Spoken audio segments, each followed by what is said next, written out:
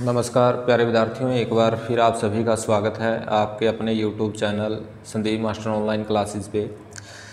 हमने कल पढ़ा था, हरियाणा में जो राजनीतिक आंदोलन हुए थे धार्मिक आंदोलन हुए थे और जो रियासतें थी जिन्होंने विद्रोह किया था 1857 के रिवोल्ट में और जो शासक थे जिन्होंने अहम भूमिका निभाई थी, उनके बारे में हमने पढ़ा और 1803 की जो सरजिन, सुरजी अंजुन गाँव की संधि हुई थी, उसमें जो आपका हरियाणा था, अंग्रेज़ों के अधीन आ जाता है और मराठा दौलत राव जो सिंधिया है, वो हरियाणा को किसको सौंप देता है? अंग्रेज़ों को। तो आज का जो टॉपिक रहेगा आपका, वो रहेगा हरियाणा में राजनीतिक आंदोलन या राजनीतिक जागरण। आधुनिक हरियाणा के इतिहास में जो आज का टॉपिक रहेगा आपका, वो रहेगा हरियाणा में राजनीतिक जागरण व योगदान। यहाँ से क्या है? कई बार जो एच है, एग्जामिनर है तो पेपर में सीधा डायरेक्टली क्वेश्चन पूछता है। तो आइए पढ़ते हैं, स्टार्ट करते हैं। जो 28 दिसंबर है, सबसे पहला जो पॉइंट है हरियाणा का राजनीतिक जागरण में योगदान में तो 28 दिसंबर अठारह को क्या होता है? बम्बई के तेजपाल संस्कृत कॉलेज में बहत्तर प्रतिनिधियों द्वारा भारतीय राष्ट्रीय कांग्रेस की नींव डाली गई। तो क्या हुआ था? यानी कि अठारह में 28 दिसंबर अठारह में जो बम्बई का तेजपाल संस्कृत कॉलेज है तो वहाँ पे बहत्तर प्रतिनिधियों के द्वारा कांग्रेस की क्या की गया? कांग्रेस का गठन किया गया। और इसमें जो बहत्तर प्रतिनिधियाँ शामिल हुए थे, इन बहत्तर प्रतिनिधियों में आपका अम्बाड़ा के लाला मुरलीधर शामिल थे। काफ़ी बार क्वेश्चन पूछा गया है, जो बहत्तर प्रतिनिधि थे बम्बई के तेजपाल संस्कृत कॉलेज में, जिन्होंने कांग्रेस की स्थापना की थी। तो उन बहत्तर प्रतिनिधियों में, यानी कि अम्बाला के किस व्यक्ति ने हिस्सा लिया था? तो अम्बाला के व्यक्ति थे लाला मुरलीधर। बहत्तर प्रतिनिधियों में आगे अगर आपसे पूछे तो अम्बाला के लाला मुरलीधर शामिल थे। नेक्स्ट है आपका अम्बाड़ा में कांग्रेस की शाखा खुली। और इन्हीं के प्रयासों से जो अम्बाड़ा है, वहाँ पे क्या खुली? कांग्रेस की शाखा खुली। अगर पूछ लिया जाए अम्बाड़ा में कांग्रेस की शाखा किन के प्रयासों से खुली? तो खुली लाला मुरलीधर के प्रयासों से। और लाला मुरलीधर अम्बाड़ा के थे, और जो बहत्तर जो सदस्य थे संस्कृत जो कॉलेज था बम्बई के अंदर, वहाँ पे अठारह में कांग्रेस की नेव डाली गई थी तो उनमें से वो एकमात्र व्यक्ति थे। नेक्स्ट है आपका कांग्रेस का दूसरा अधिवेशन कहाँ होता है? कलकत्ता में और कब होता है? अठारह सौ छियासी में सीधा डायरेक्टली पूछ लेगा। कांग्रेस का दूसरा अधिवेशन कहाँ हुआ? कलकत्ता में कब हुआ? अठारह सौ छियासी में। तो इस अधिवेशन में हरियाणा के दो व्यक्तियों, गणमान्य दो व्यक्ति थे हरियाणा के, उन्होंने क्या किया? हिस्सा लिया। एक तो था आपका जज्जर का जज्जर के थे पंडित दीनदयाल शर्मा और रोहतक रोहतक के थे बाबू बाल मुकंद गुप्त। इन दोनों ने क्या किया? कांग्रेस का जो दूसरा अधिवेशन हुआ था कलकत्ता में अठारह सौ छियासी में तो जो दो गणमान्य व्यक्ति थे, उन्होंने हिस्सा लिया था। तो अगर आज के बाद पूछे आपसे, कांग्रेस का जो दूसरा अधिवेशन था कब हुआ? कलकत्ता में अठारह सौ छियासी में। तो हरियाणा के दो व्यक्ति, जज्जर से पंडित दीनदयाल शर्मा और रोहतक से बाबू बाल मुकुंद गुप्त ने इसमें हिस्सा लिया। नेक्स्ट है आपका हिसार में कांग्रेस की स्थापना का श्रेय किसको जाता है? लाला लाजपत राय को जाता है। जो हिसार है आपका, वहाँ पे अगर कांग्रेस की स्थापना पूछ ले तो उसका श्रेय किसे जाता है? उसको जाता है श्रेय लाला लाजपत राय को। और कब खोली थी वहाँ पे?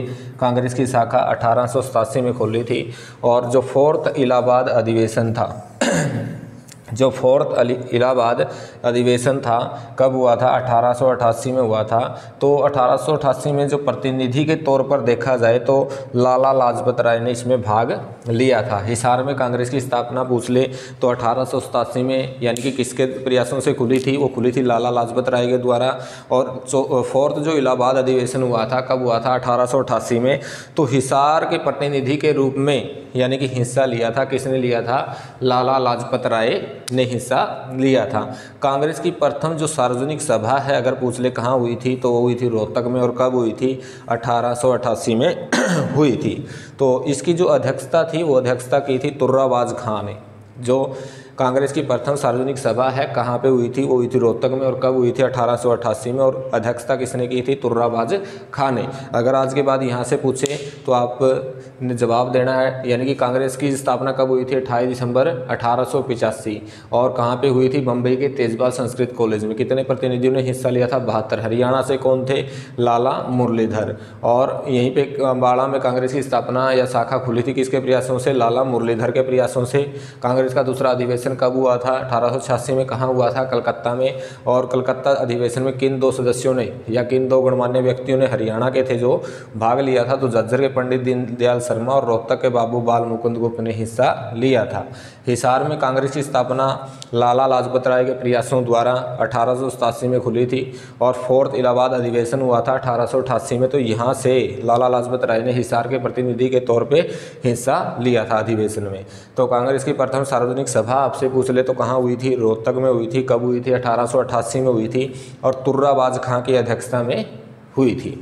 तो नेक्स्ट है आपका 1907 1907 में क्या होता है? हरियाणा के प्रत्येक गाँव में कांग्रेस की शाखाएँ खुल चुकी थी, जो 1907 था। 1907 के आते आते हरियाणा के प्रत्येक गाँव में कांग्रेस की स्थापना हो चुकी थी, कांग्रेस की शाखाएँ खुल चुकी थी। और 1907 में ही क्या होता है, लाला लाजपत राय को देश से निर्वासित कर दिया गया।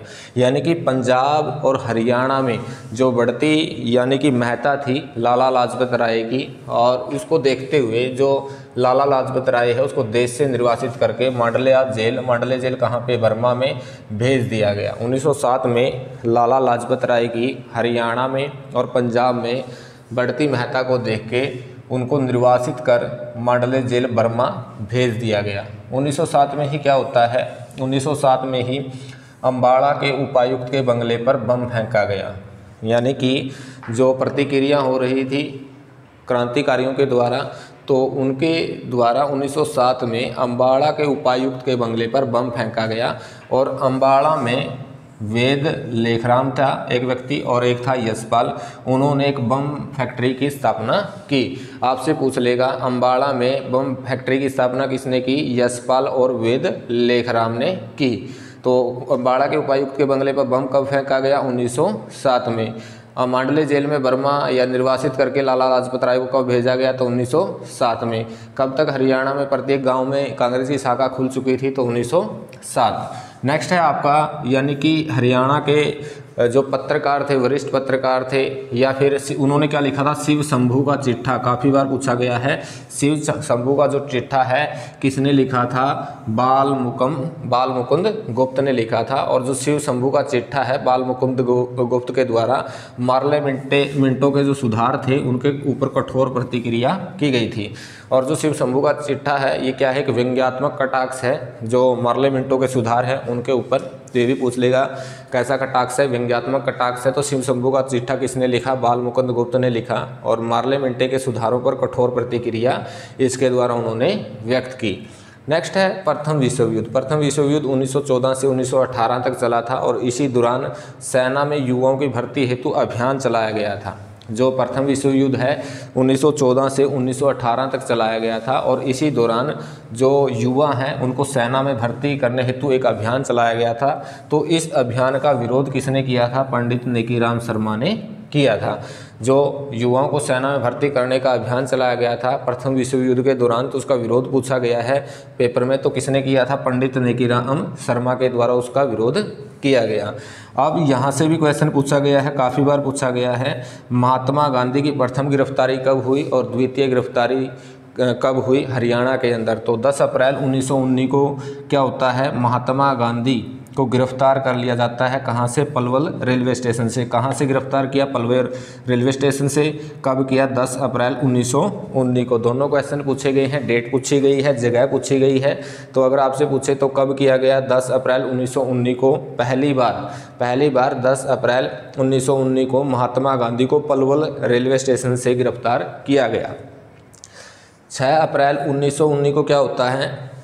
6 अप्रैल उन्नीस सौ उन्नीस को रोलेट एक्ट के विरोध में रोहतक में क्या होती है? विशाल सभा होती है। अगर रोहतक, ये विशाल सभा पूछ ले, रोलेट एक्ट के विरोध में हरियाणा में कहाँ होती है? तो रोहतक में होती है और कब होती है? छः अप्रैल उन्नीस सौ उन्नीस में। नेक्स्ट है आपका 30 जुलाई 1919 यहाँ पे क्या है? 6 अप्रैल 1919 10 अप्रैल 1919 और यहाँ पे क्या है? 30 जुलाई 1919 तो यहाँ पे क्या है? गांधी को गिरफ़्तार किया गया हिसार से। मोस्ट इंपॉर्टेंट क्वेश्चन है आने वाले एग्ज़ाम के लिए। तो महात्मा गांधी की प्रथम गिरफ्तारी 10 अप्रैल 1919 को अगर पूछे आपसे तो महात्मा गांधी को गिरफ़्तार कहाँ से किया गया था? पलवल रेलवे स्टेशन से। और दूसरी बार तीस जुलाई उन्नीस को गांधी को गिरफ़्तार कहाँ से किया गया था? हिसार से किया गया था।